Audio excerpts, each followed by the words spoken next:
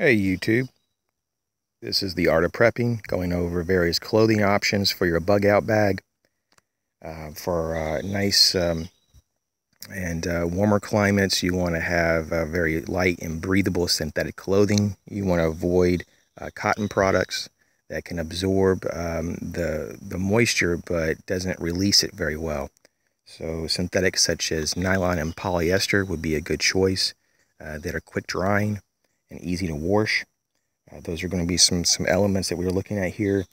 Um, you know, having something that's breathable and um, and it's going to be uh, able to to give a little bit to have a little stretch to it would be also a bonus.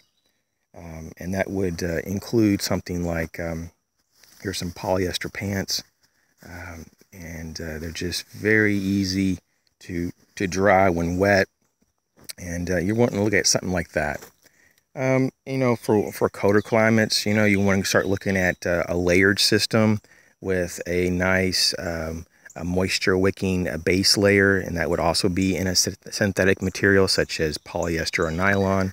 Secondary layer would be something like maybe a, a thermal shirt or some type of insulating shirt or even a wool sweater. And, um, you know, you would have uh, wool hats like this. This is a military issued watch cap and uh, polar fleece gloves, for example, would be great. So, you know, on your outer shell, though, you would have a third uh, layer, and that would be your outer shell, and that would be your waterproof and windproof layer for colder environments.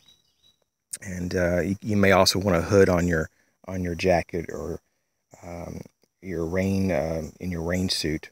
So those are some clothing options. Um, once again, uh, cotton is, should be avoided and it should only be uh, implemented in your bandanas. And you should try to avoid them, even your socks and underwear. You should consider, you know, moving into more of a synthetic material. So uh, if you have any other additional ideas, put them in the comments section. Thanks for watching.